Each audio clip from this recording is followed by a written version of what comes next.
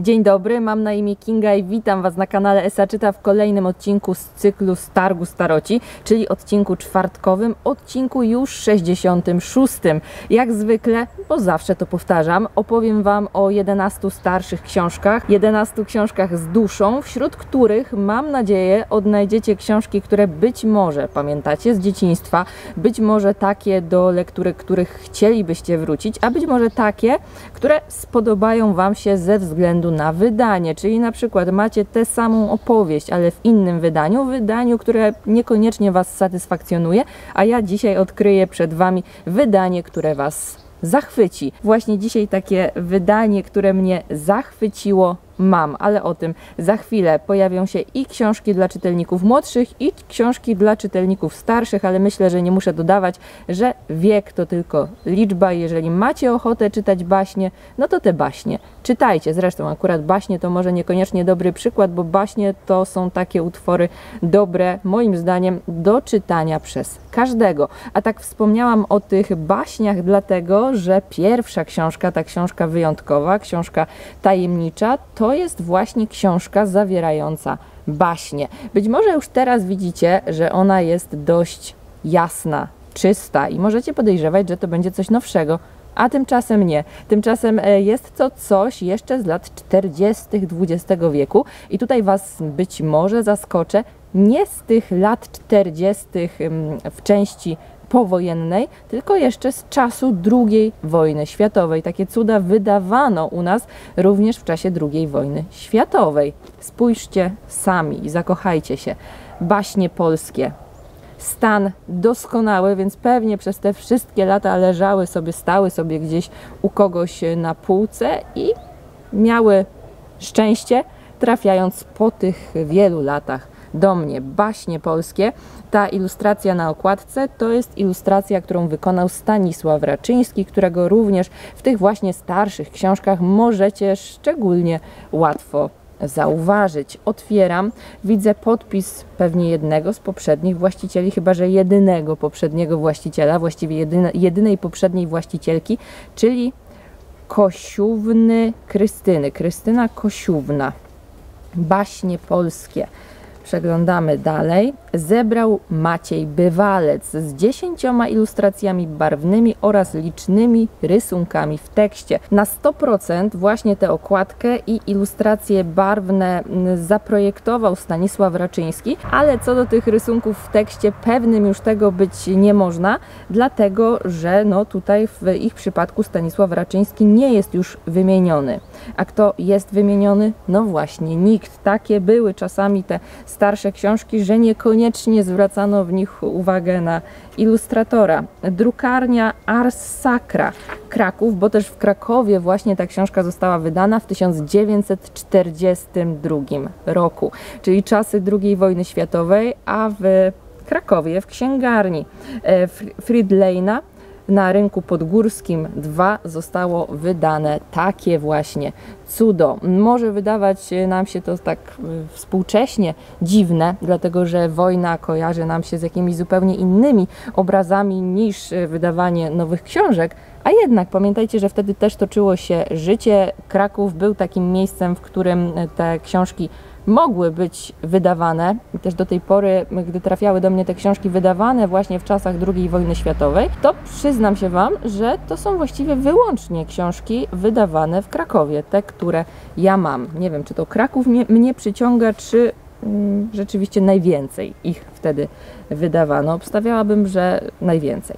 Co my mamy tutaj w środku? Bo ja tak gadu gadu, a na pewno zżera Was ciekawość, co też zaproponowano nam wewnątrz. Wewnątrz zaproponowano nam bardzo y, ciekawe opowieści, też takie opowieści, z których sporo zapewne znacie. Pokazuję Wam spis baśni. Chciałam powiedzieć spis treści, ale to jest spis baśni.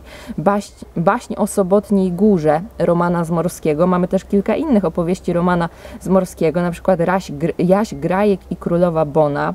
Y, też widziałam tutaj coś jeszcze jego. Strach. A propos Romana z Morskiego, nie wiem czy wiecie, ale na jednej z jego opowieści, y, swoją opowieść o Wiedźminie, tę historię, w której Wiedźmin walczy ze strzygą, osnuł Andrzej Sapkowski. To jest podobno jakaś taka luźna inspiracja, ale moim zdaniem no nie taka luźna. Narcyza Żmichowska o niedobrej córce, kilka innych narcyzy żmichowskiej, Józef Ignacy Kraszewski, mój ulubiony i mamy tutaj jego mitręgę, mamy z chłopa król, kwiat paproci, garbucha, o królewnie czarodziejce. Z takich bardziej lubianych przeze mnie opowieści mamy Szklaną Górę pana Wójcickiego. Książka wygląda jak książka przez nikogo nieczytana, przynajmniej żadnych, jak ja to mówię, śladów użytkowania tutaj nie widzę, czyli nikt nie zaginał rogów, nikt nie pobrudził tej książki, nie wiem, jakimiś brudnymi palcami.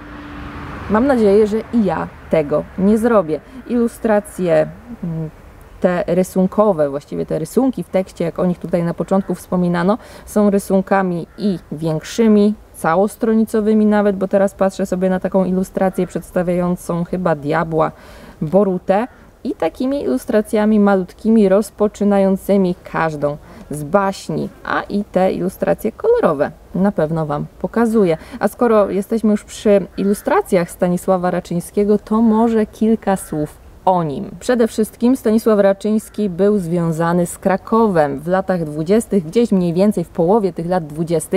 Ukończył e, studia na Akademii Sztuk Pięknych właśnie w Krakowie, no i rozpoczął działalność i jako ilustrator, i jako grafik, i też jako scenograf. Znany jest ze swoich drzeworytów i gdy, gdy tak przeglądałam internet e, w poszukiwaniu jego prac, no to doszłam do wniosku, że jeżeli mielibyście ochotę mieć w swoim domu na ścianie obraz czy drzeworyt Stanisława Raczyńskiego, to jest to do zrobienia, dlatego że różne galerie sztuki, e, domy aukcyjne te jego prace wystawiają, czy też na pewno wystawiały, więc wystarczy tylko zaczekać na odpowiedni moment. Także w tym 66 odcinku zaczynamy od takich e, cudownych, moim zdaniem, baśni polskich. Baśni polskich były baśnie, a teraz pora na pozycję bardzo mocno, wydaje mi się, związaną z rozpoczęciem roku szkolnego, bo przecież e, pierwszy tydzień września, e, pierwszy tydzień roku szkolnego zbliża się ku końcowi, a ja mam odpowiednią e, do tego momentu książkę. Jaś idzie do pierwszej B. Lata temu ja chodziłam do pierwszej B, właśnie B magister Paulina Wiesława Altmanowa, a książeczkę, nie wiem czy jest Wam znana, pewnie nie, bo jest to pozycja raczej taka niszowa, E, to jest pozycja wydana w 1958 roku przez Państwowy Zakład Wydawnictw Lekarskich, więc e, o ile nie znalazłam informacji na temat autorce, czyli e, Paulinie Altmanowej, to mogę wychodzić z założenia, że albo była lekarką, albo była kimś związanym ze służbą zdrowia. A Jaś idzie do pierwszej B to wcale nie jest książka opowiadająca po prostu o jakichś perypetiach Jasia w pierwszej B, a jeżeli opowiadająca to mimochodem, bo ona po prostu jest skierowana do rodzica, właściwie konkretnie do mamy. Mamy droga mamo, tak we wstępie, do której podobnież zwraca się tutaj ten Jaś i mamy tutaj różne porady związane z mm, momentem, w którym dziecko wybiera się do szkoły, jak przygotować jego kącik do pracy. Zastanówmy się, jak w trudnych warunkach mieszkaniowych zapewnić Jasiowi odpowiedni kąt do nauki tak, aby nikomu nie przeszkadzał i aby jemu nie przeszkadzano. Czystość przede wszystkim, czyli na przykład przed odrabianiem lekcji warto y, umyć ręce, należy myć zęby, od takie coś, co jeść i jak jeść, różne propozycje. Chce być silny i zdrowy. Jaś jest piecuchem, lubi wylegiwać się, boi się zimnej wody, sprzeciwia się wszelkim próbom hartowania. Jest w tym wina rodziców, którzy w przesadnej trosce o zdrowie Jasia rozwijają w nim uczucie lęku, boją się przeziębienia jak ognia, w rezultacie czego dziecko unosi się z niechęcią do wszystkiego, odnosi się z niechęcią do wszystkiego, do czego nie jest przyzwyczajone. Sport, turystyka, wakacje to rzecz miła. No tak, Także wszelkie porady dla rodziców, którzy wysyłali swoje dzieci do szkoły właśnie w tych latach 50., pod koniec lat 50. I też, i też przypuszczam, że różne takie e, smaczki związane z wychowaniem charakterystyczne gdzieś dla tych e, wcześniejszych lat, nie dla sposobów, w jaki e, często wychowuje się dzieci współcześnie, mogą być w tej książce widoczne. Muszę być z Wami szczera, gdyby nie ta piękna okładka, ta książka pewnie by do mnie nie trafiła, a za tę okładkę odpowiedzialny jest pan Weicher. Wydanie pierwsze 30 tysięcy egzemplarzy, jeszcze może Wam to powiem i powiem Wam jeszcze, że ktoś z tej książki korzystał, dlatego że przynajmniej w tych początkowych rozdziałach mamy podkreślenia długopisem. Jeżeli śledzicie filmy z tego cyklu dość uważnie, to być może pamiętacie, że w jednym z dawniejszych, wcześniejszych już odcinków, myślę, że no na pewno dobrych kilka miesięcy temu, jak nie więcej, pokazywałam Wam taką książkę z serii Historia Literatury i była to wtedy historia literatury bułgarskiej. Ściągam teraz taką naklejkę biblioteczną. Historia literatury angielskiej, z tej samej serii. Wtedy wspominałam o bułgarskiej, teraz wspominam o historii literatury angielskiej. Od taka krótka, y, krótka, no krótka historia literatury angielskiej, można powiedzieć historia literatury angielskiej w zarysie od Przemysława Mroczkowskiego, e, płócienna oprawa, no solidne wydanie i dlaczego postanowiłam przygarnąć taką książkę do mojej biblioteczki i te historie literatury bułgarskiej i te historie na przykład literatury angielskiej, bo mam też kilka innych Ano dlatego, że niekoniecznie może będę miała ochotę, czas na przypominanie sobie jakieś szczegółowe tej na przykład literatury angielskiej. W przypadku literatury bułgarskiej to w ogóle byłaby nauka od podstaw. Może czasami będę miała przy okazji czytania jakichś powieści, tych klasycznych powieści y, angielskich, ochotę na przypomnienie sobie pewnego zarysu całej tej literatury, żeby mm, dobrze, tak bardziej świadomie odnieść się szczególnie do tych starszych, na przykład XIX czy XVIII-wiecznych utworów. Wtedy na pewno pomoże mi ta książka, dlatego że wystarczy, że po nią sięgnę i albo przeczytam sobie całą, albo przeczytam ją we fragmentach, a jakieś y, ewentualnie wątki, które mnie zainteresują, będę mogła rozwinąć. Ta historia literatury angielskiej to jest y, książka e, w wydaniu drugim, uzupełnionym, wydana przez Zakład Narodowy imienia Ossolińskich, który stanowi dla mnie jakąś taką jakość samą w sobie, gdy widzę książkę wydaną właśnie przez ten zakład. Okładkę projektował Eugeniusz Smoliński, 86 rok, 40 tysięcy egzemplarzy zarys, taki mamy podtytuł, no bo słuchajcie, nie można by było literatury angielskiej zamknąć w takiej skromnej książce. Zarys na ilu stronach? Na ponad 600 stronach. I jeszcze szybciutko spis treści by się nam przydał.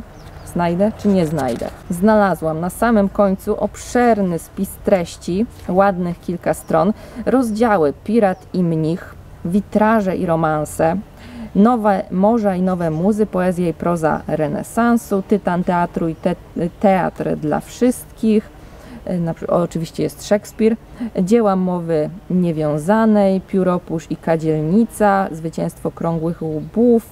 Na pewno sami też sobie tutaj zerkacie.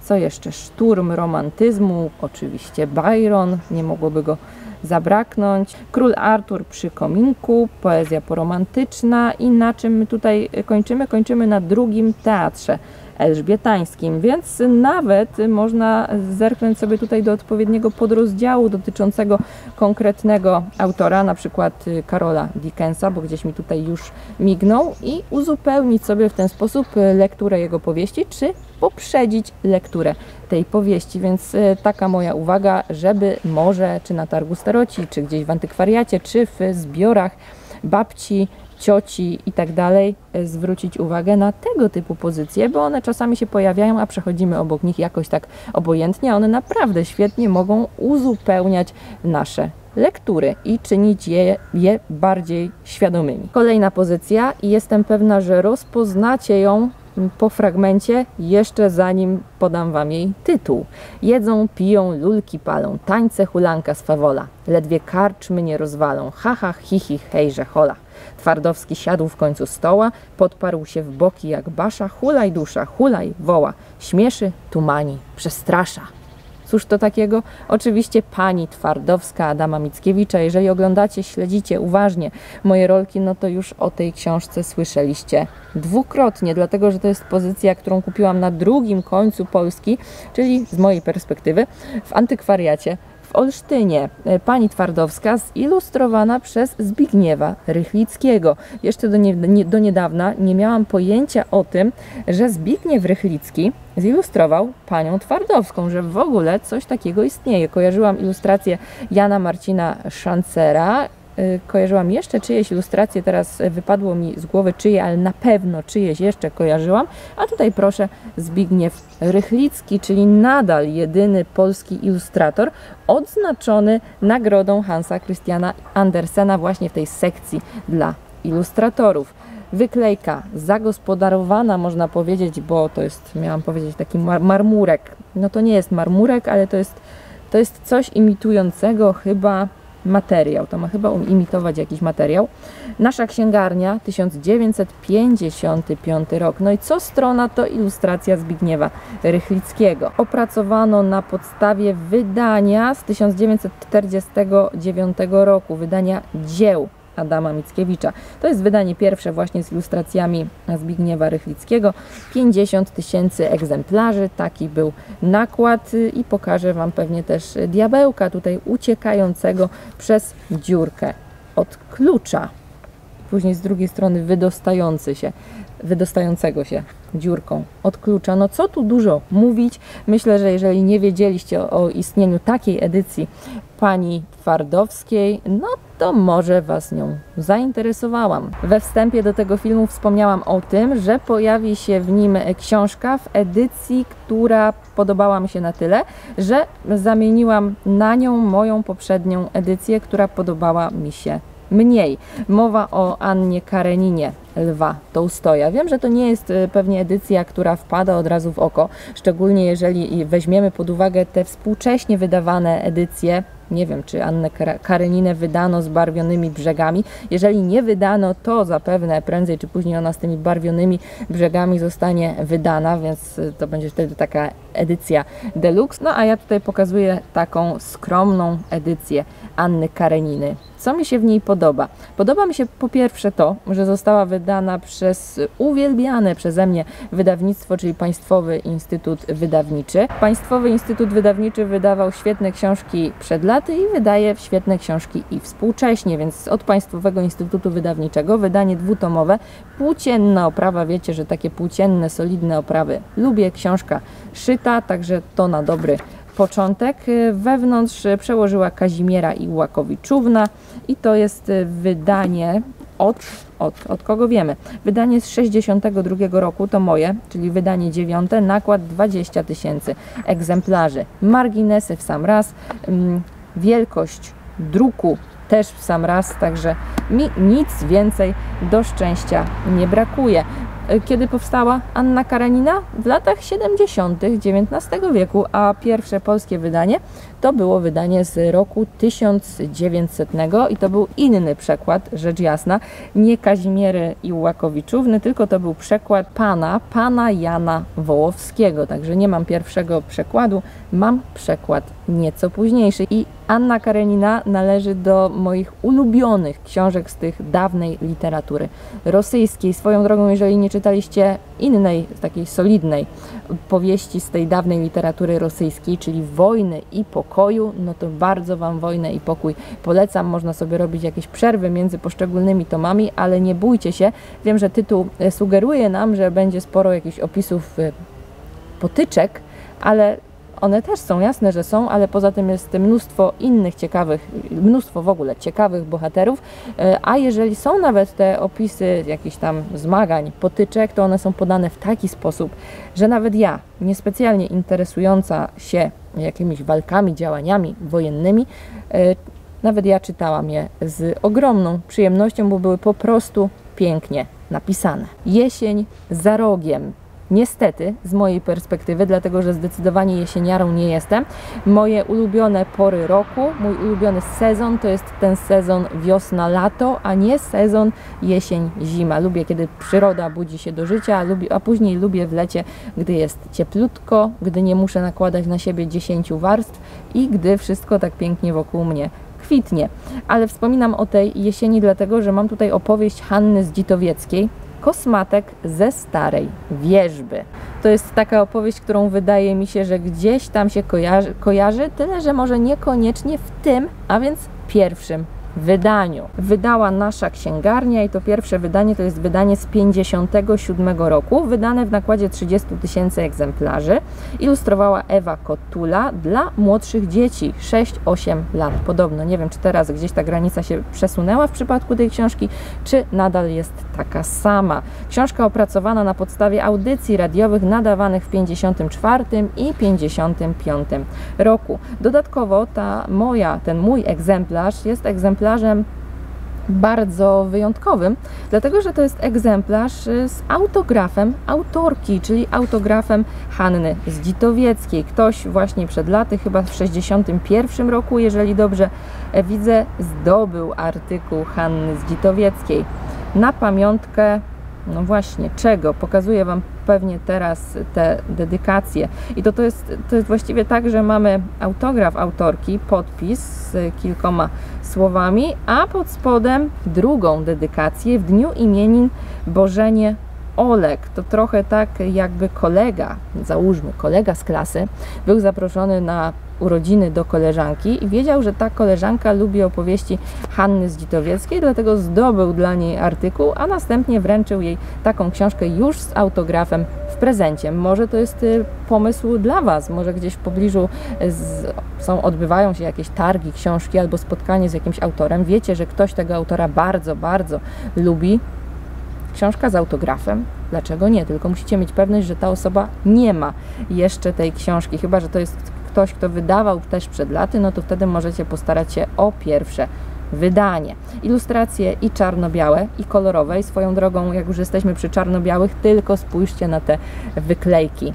Mam szczęście, że nikt przez te lata nie postanowił tej wyklejki pokolorować, bo przyznajcie, no kusi, kusi, żeby ją pokolorować. Wygląda jak taka prawdziwa kolorowanka. Ona jest i z przodu, i z tyłu. Powołam się może jeszcze na taką opinię użytkownika Anasos lubimy czytać. Lekka, przyjemna książka o małym ludku z bajki, który przeżywa piękne przygody. Nawiązuje przyjaźnie z różnymi mieszkańcami lasu i nie tylko. Dla dzieci idealna. Trochę się czułam jakbym czytała cudaczka, wyśmiewaczka, choć ludek dużo przyjemniejszy niż to złośliwe. Licho. Cudaczka, wyśmiewaczka chyba kiedyś Wam pokazywałam. Dobrze myślę, czy już coś mi się miesza i po prostu go mam, a jeszcze go Wam nie pokazywałam. Hm.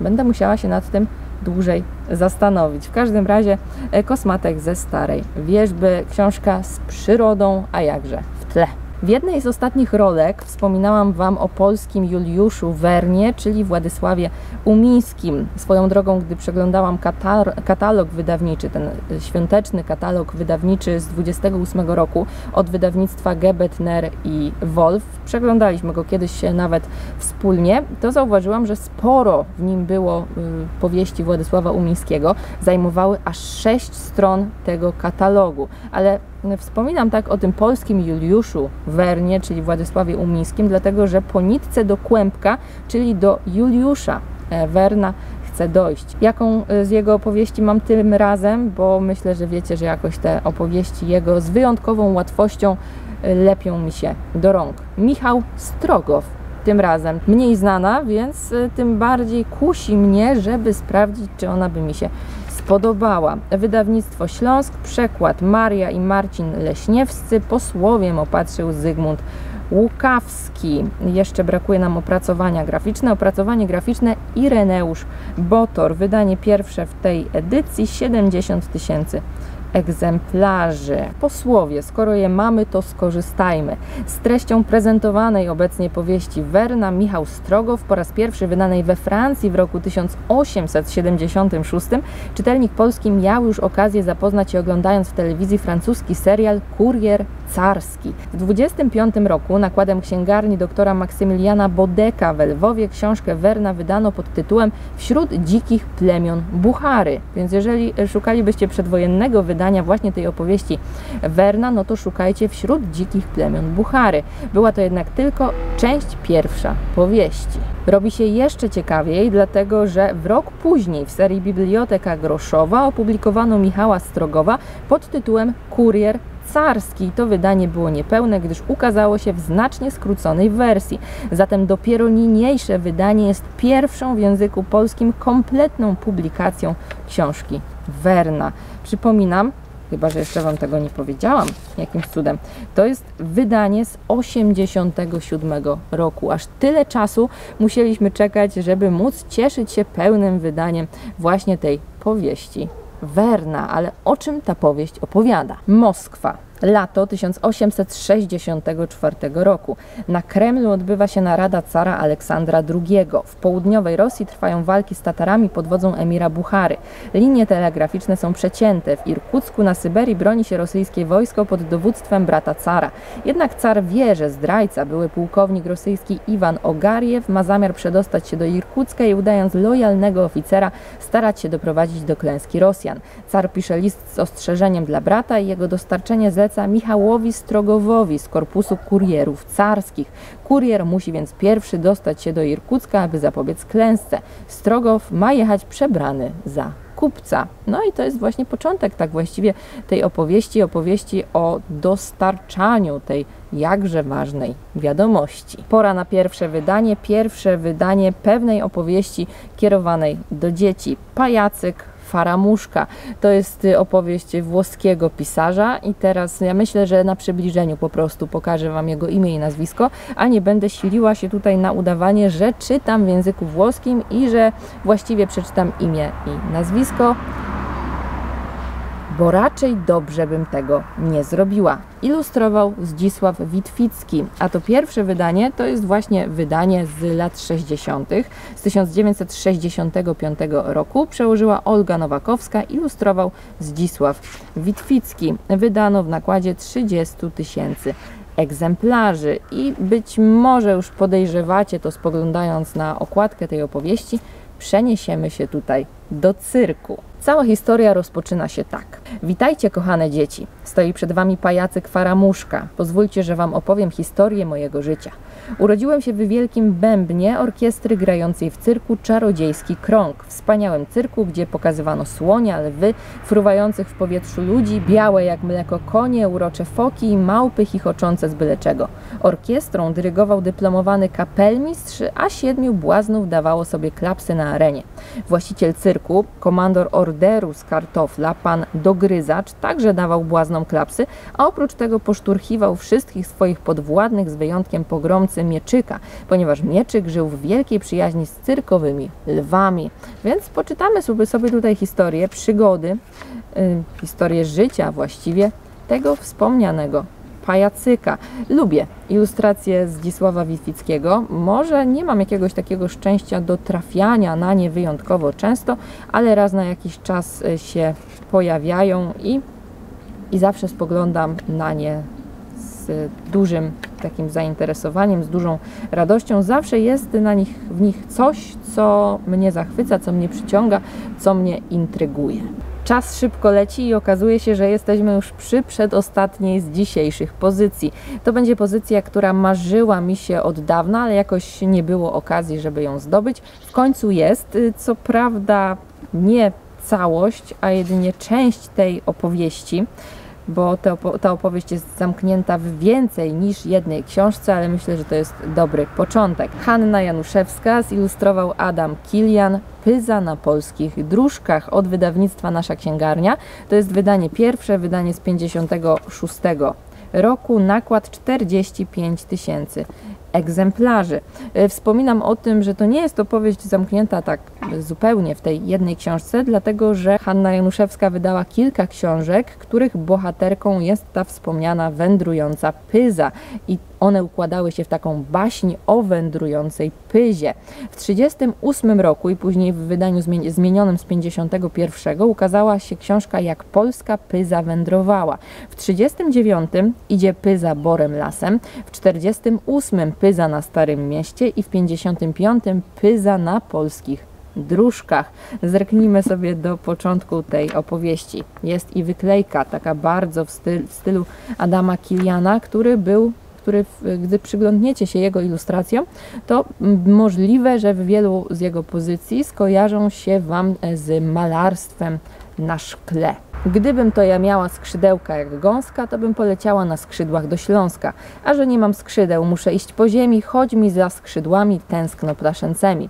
Westchnie sobie pyza, westchnie uraduni, posłyszy ją gąska i z obłoka sfrunie. Chociaż nie masz pyzo, skrzydełek jak gąska, przytul się do moich, polecisz do Śląska.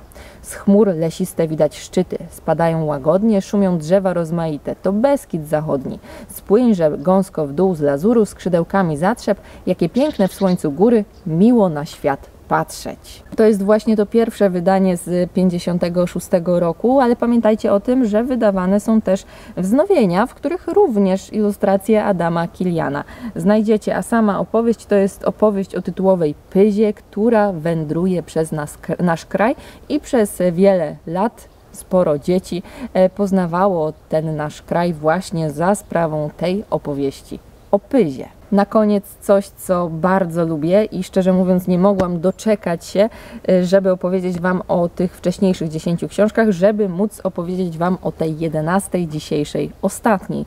Podania i opowieści z Zagłębia Dąbrowskiego. Przeczytam je wtedy, gdy będę wybierała się gdzieś w tamte tereny, ale i tak już teraz y, jestem tą opowieścią bardzo podekscytowana.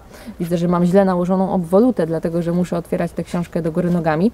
Zebrali i opracowali Marianna i Dionizjusz Czubalowie. I jeszcze jedno, te podania i opowieści z Zagłębia Dąbrowskiego mają podtytuł 100 lat temu i dzisiaj. Wydał Śląski Instytut Naukowy w Katowicach w 1984 roku.